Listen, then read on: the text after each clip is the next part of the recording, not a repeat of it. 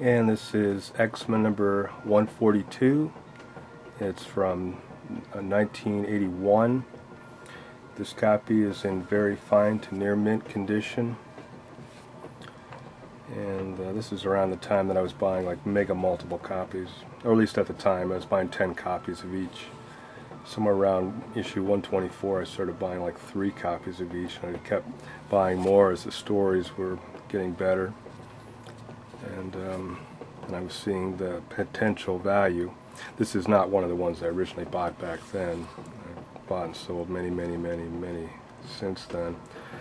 But this has got um, most of it's gloss and back cover is quite nice and centerfold staples will be firmly attached. Uh, the um, pages are creamed off-white Owl 8. Um, the, what keeps this from being a higher grade would be down here.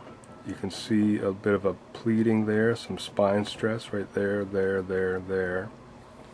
Aside from that, it's pretty much like what you'd find on a newsstand. This would be this would be an average copy for the newsstand.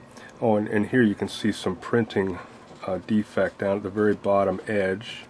You can see there and there. That's kind of uh, that's how that was printed. So it's not near mint. And I see a spine stress line there. It's small, but very fine to near mint.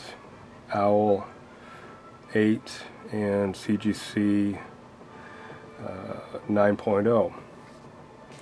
It's a nice copy.